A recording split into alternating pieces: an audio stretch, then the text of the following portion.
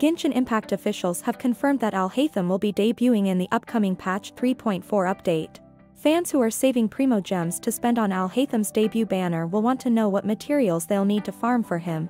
Fortunately, the latest 3.4 beta leaks have revealed Alhaitham's Ascension and Talent level up materials.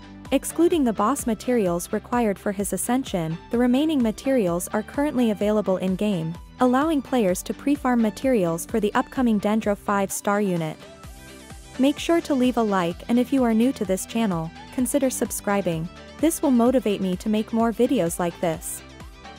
Following his appearance in the first Sumeru Archon quest in Genshin Impact, Alhaitham swiftly created a large fanbase for himself. With the confirmation of his debut in the upcoming patch 3.4 update, players will finally be able to spend their hard-earned Primogems to obtain the character, Recent beta leaks have revealed his Ascension and Talent level up materials. Most of the materials are available to farm in the current version, excluding the new boss materials that's required for his Ascension.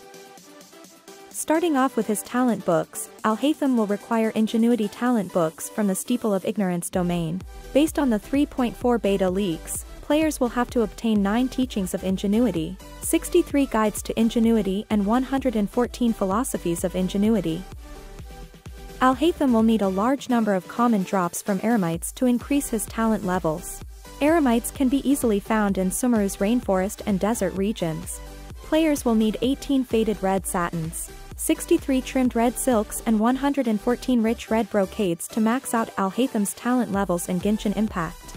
Genshin Impact players will need 18 Mirror of Mushins from the weekly Trounce domain to max out Alhaitham's talent levels. Keep in mind that you will have to complete the Where the Boat of Consciousness Lies quest to access the new weekly boss Trounce domain.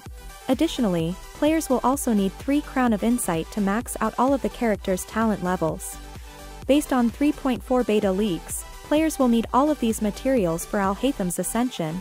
1 Nagadus Emerald Sliver, 9 Nagadus Emerald Fragments, 9 Nagadus Emerald Chunks, 6 Nagadus Emerald Gemstones, 168 Sand Grease Pupa, 46 pseudostamens, 18 faded red satins, 30 trimmed red silks, 36 rich red brocades and 420,000 mora. Pseudostamens, one of the required ascension materials, can be farmed from a new boss who's yet to debut in Genshin Impact. Additionally, sand grease Pupa is a new local specialty that cannot be farmed presently. Players will have to wait for the arrival of the patch 3.4 update to obtain this new local specialty. If you find this video helpful, Please leave a like, and if you are new to this channel, consider subscribing.